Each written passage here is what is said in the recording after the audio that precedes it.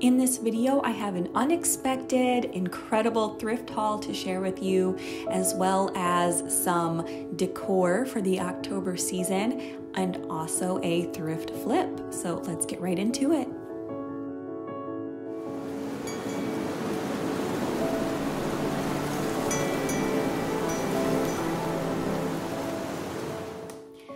Right, guys, so this is kind of um, an untraditional way that I usually do my videos and my thrift hauls. Usually I take you with me and show you what I'm seeing at the thrift stores and take you along and show you up close of all the items on the shelves. But today, uh, it was just kind of an unexpected thrifting day. Um, I planned on stopping into a couple places, but I did not expect to find as many things as I did. And it was just all happening so fast and so unexpectedly that I didn't even really get a chance to think about um, composing any type of a video for you or filming. But I still want to show you what I got. So I think this will still be a fun video. I'll show you everything that I found, um, tell you where I found it, how much I paid for it, and then we're gonna get it cleaned up and then I'm going to try and find a place for it, try and style it in my home. So I have it all kind of sitting all around me. Um, I have my fire going here behind me. Um, by the way, I will have a link for this stove in the description down below. I absolutely love it. It's just an electric heater, but it has like realistic looking flames. It gives off heat, and not to mention it's so cute and it looks perfect in my faux fireplace around here. Um, the flames look really real. You can do different colors with them. It's nice and shallow, so it fits inside these fireplace surrounds really nice. So anyway, that'll be linked down below. It's by RW Flame. Um, awesome company. so I'm just gonna start grabbing things, you guys. No particular order here. Um, but I found at Salvation Army two rolls of this black burlap and they were $1.99 a piece. I did look up on Amazon how much burlap would cost because I didn't really want to get ripped off and it was like $13 or more for a roll of um, burlap. So $2 is a good price for each of these and in the October um, season I like to add black into my decor. Um, I don't decorate for Halloween. I don't like to bring in anything into my house that could possibly be perceived as evil. So I like to just keep things simple, but still have fun with the season and change it out a little bit by making my home a little bit moodier, um, a little bit more um, Victorian, I guess. So I'm gonna add in some black decor here and there. Um, I have some other things to show you that I got for my October decor. I just like to stay away from spooky things. We don't celebrate Halloween, so not spooky, but still like to switch it up and keep it fun for the changing season and kind of to mimic what's going on outside. And then also at Salvation Army, I found all of these gorgeous wine glasses. They have the Starburst pattern on the bottom, so that might mean that they're like an Anchor Hocking brand, but they're really beautiful, high quality glasses. I got two sets of six and I paid $6 a piece, so $12 altogether for some new wine glasses. So I am happy to have those. They're, they're gonna go in my built-in cabinet right behind me here, and then when I host holidays and things, um, I will have them to pull out for everybody, and we'll all be able to have a matching wine glass. So, trying to think what I wanna show you next here. Okay, my first stop was Goodwill today and they had a bunch of wreaths and they had this adorable little wheat wreath. I absolutely love decorating with natural things like this for fall. I love wheat because it's just a creamy neutral color, so it goes with all of my decor. Um, you might have seen in one of my videos recently that I had some wheat stacks and stuff. So I just thought this would be perfect to put somewhere. I'm still decorating for fall, you guys, even though I'm gonna be moving on to Christmas here just next month. I'm so excited to. I've started looking at things because I'm doing red this year and I, have never done red before, so I kind of need to get very creative with how I'm going to add red into my home for Christmas this year. But it's gonna be an exciting year of Christmas decor. If you guys love Christmas decor, definitely subscribe and stick around because my house is My house was built for Christmas, we'll just say that. Christmas looks very good on my house. So this was $5, really good price. I'm excited to hang that somewhere. This will be a nice staple to have every year. Okay, next thing. Now I have wheat on everything. Let me see if I can get that out. Okay, so artwork. Rarely do I leave a thrift store without some artwork and I'm always looking for it, always, always, always. And this piece um, I saw from across the room. It was at like a local thrift ch charity shop. It wasn't at like a big box one like Goodwill or Salvation Army. So their prices are actually thrift store prices, which is very refreshing and nice. They're only open a few hours a day, maybe like four hours, maybe only three days a week. So I don't get there too often, but every time I do, I am like very impressed and I find good things. So I need to make sure, make a point to go there more often. But how beautiful is this? It's in a watercolor, an original. There's um, the artist's signature on the bottom and he even dated it 1948. But it's just these gorgeous, um, I think they're like woodpeckers maybe. But I liked it because for the October season, I'm adding in blacks. So I thought the black birds were beautiful and appropriate for that. I'm not sure about the frame. I know this light wood color is really in right now, but I don't really use it a whole lot. So I might spray paint it. I don't think it's anything too fancy. It doesn't feel like it's too fancy. So I might spray paint it. I might just spray paint it black and that way I can have a little extra black in my house. Easy peasy. And that was $5. All right, this is very heavy, but uh, so also at that thrift store, they had this gorgeous oval mirror. It's wood. Um, it's definitely older. It has like a metal back on it, which is interesting. Um, but I just thought that for, it was, by the way, this was $6, a $6 vintage mirror. Um, awesome price. I don't love the silver. I don't really decorate with silver. It is really pretty, but I mean, how quick and easy it will be to just take some rub and buff and that will completely transform this mirror. So I'll have to figure out where I wanna put it and then, um, yeah, we'll see what we need to do to spruce it up a little bit, to give it a little makeover. But it is a gorgeous mirror for $6. There's no way I was leaving there without a $6 mirror with a beautiful frame. So I could not wait to transform this mirror and I also can't wait for you guys to see how amazing it turned out. I'm starting out with some rub and buff here and I'm using the ebony color and then also a copper color. I'm mixing those two together but I'm doing a ratio of a little bit more of the copper to the ebony, probably twice as much copper as the ebony. And um, once I finished this, I realized I probably could have just gone with the copper and that would have looked still just as beautiful. But I am using a brush to really work that rub and buff down into all of the details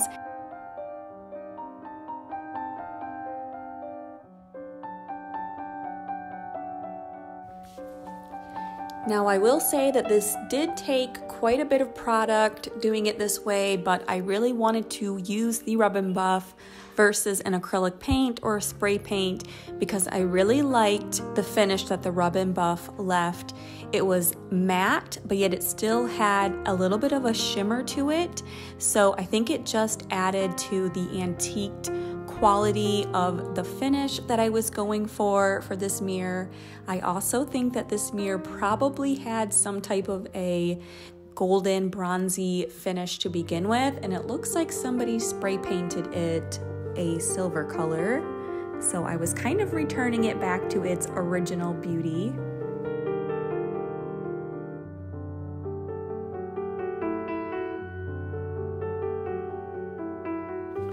And if you're new to using rub and buff, a tip is to try and not get it on any surface you don't want it on because it isn't oil based and it is a little bit hard to remove. So that's why I'm using this piece of paper here to kind of block it from getting too much of it onto the mirror itself.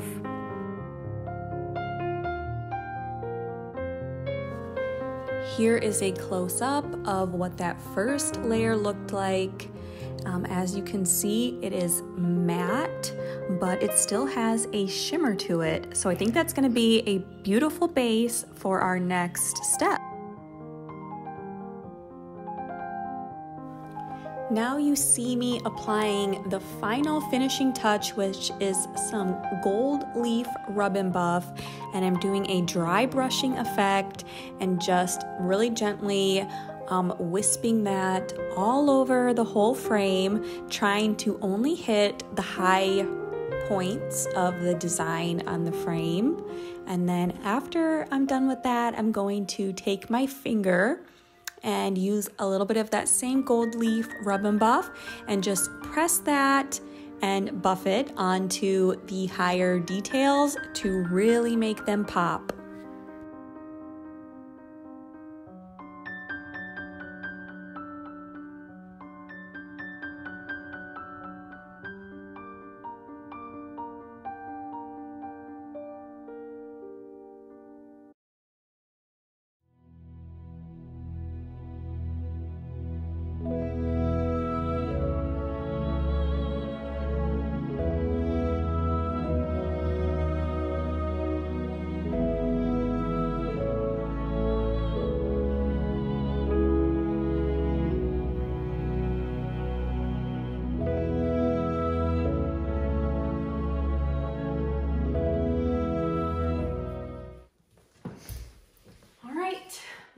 Still going. We got more to see.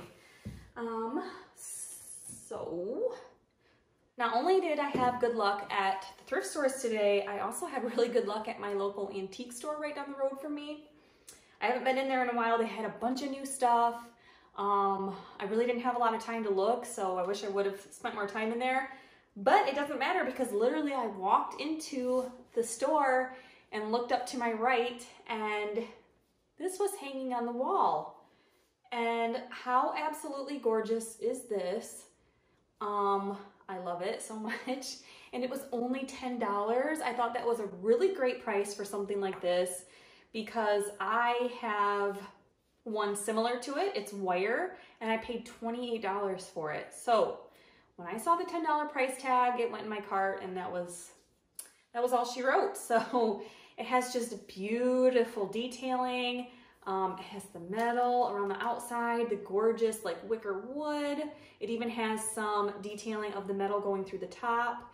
So I believe these are used as like a like a pastry or like a cookie cloche kind of. You would put them over top of something to keep the bugs out, keeps flies out and stuff. I just think they're beautiful. I love decorating with these. I'm gonna put this in my dining room. Love that so much. And it was such a great price. All right, we're back to Salvation Army with this little thing here. It's kind of hard to see, but this is the box. It's definitely vintage. Not sure what this would date back to. It says made in the USA. So these are just little Bible quotes. I'm trying to see if there is a date on here anywhere. I don't see it. I'm sure if I dug there would be. But anyway, it's just cute little scriptures, little tiny flashcard type things. And I thought these were precious and useful actually. So um, I think this will be pretty displayed in a bowl or in like a little jar, like a glass jar, clear. I mean, they're beautiful. They're just simple and beautiful. And you know, they're good for the soul. So 99 cents I paid for these little scripture flashcards. All right.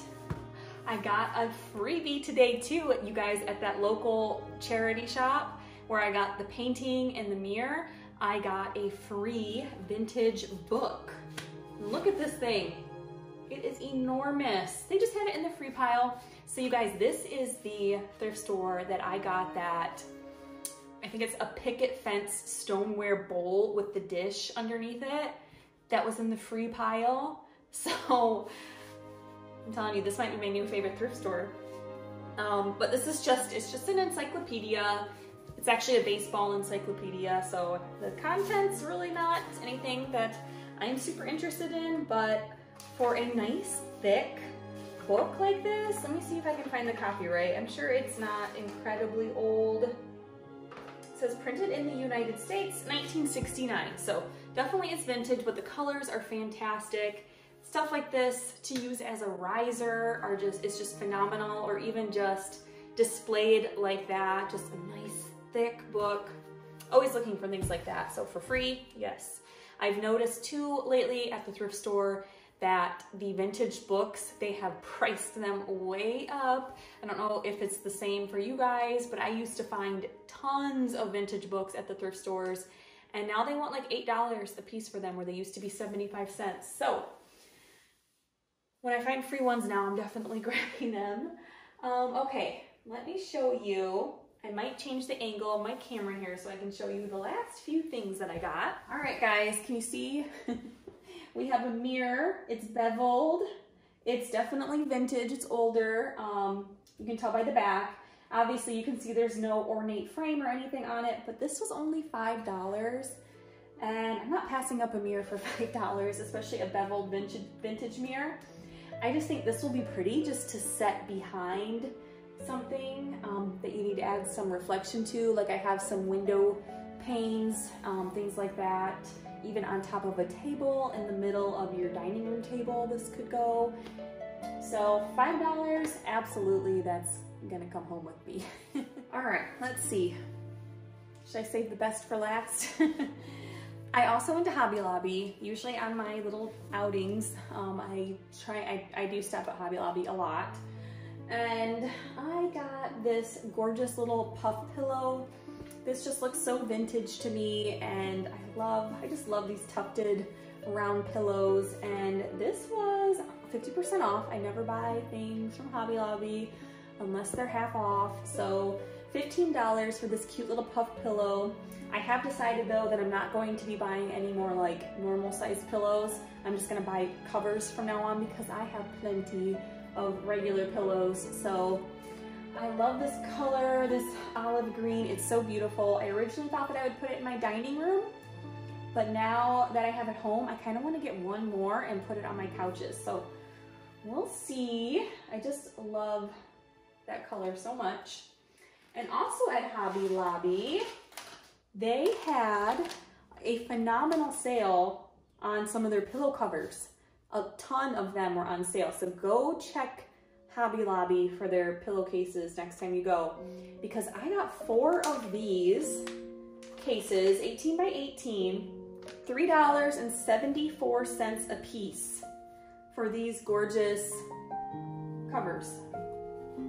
I just, I love um, anything that looks like a vintage rug or that has that like rug kind of material. I just think they look more expensive and I'm gonna throw some black in my living room, so I thought that this would be a fun way to pop in some black. I actually had my eye on some black and white ones on Amazon that were like a floral pattern, um, but they only had two and I wanted four and they were way more expensive. So this will be a super fun way to throw in some black. It'll be easy to store. And this little Shaw here, never been used before. It still has the original tag on it. This was from Goodwill today and they charged me $3. So I think this will be really sweet, just draped over a chair or I can hang it by my entryway. And actually I'm going to use this for sure when we go for walks and stuff. Um, I love things like this just to throw on, super easy. So they actually had a few more of these. Now I'm kind of thinking Maybe I should go back and get, a, get another one. All right, also at Hobby Lobby, I got some more hydrangeas. I just love faux hydrangeas um, because they look good. They just look good in everything. I don't know, it's just such a simple, fluffy, just, I don't know, they fill up vases really well. So I got four of these. I thought these looked very realistic. They're perfect for fall. They're just that perfect aged hydrangea look. And they were half off, so I thought I needed some more of those and they were almost out, so thought I better grab some. I, like I said, I really need to start focusing on getting some Christmas decor, but it's so hard to put your mind uh, to a, a holiday when it still feels so far away, even though it's just next month that I have to start decorating. I know some of you guys had mentioned um, about, you know, rushing things. Um, and I totally agree with you on that. I am decorating for Thanksgiving. I'm not gonna pass up Thanksgiving. Um, but as an influencer, I guess, um, I kind of have to start early and so that I can be an inspiration to you guys. And if I'm working with some brands to show you some brands that I love, um, that way you guys have a chance to actually see what things look like before you buy them and you can purchase them and still have them in time for your holiday decorating. So that's why us YouTubers and Instagrammers decorate so early. Um, but really the season just seems, the holidays go by so fast that I like to really take as much time as I can to enjoy them thoroughly and I'm the type of person that I don't just decorate one time.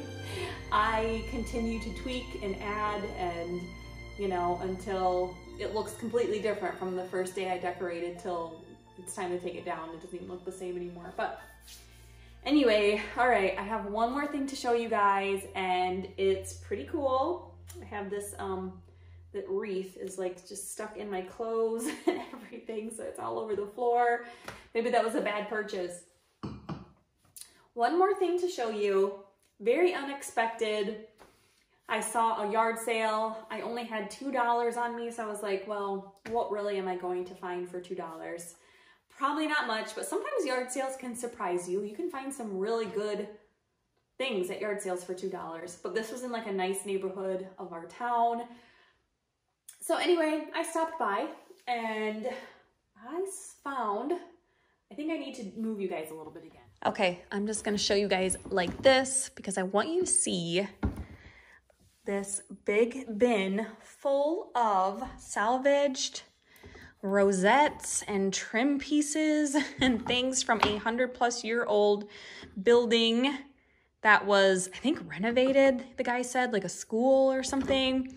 I have not even counted how many are in here, but I paid $15 for this whole box full of rosettes and other salvage trim pieces, solid oak, I mean aged uh, stain. Actually, they go in my house perfect if I wanted to add some rosettes on my doors.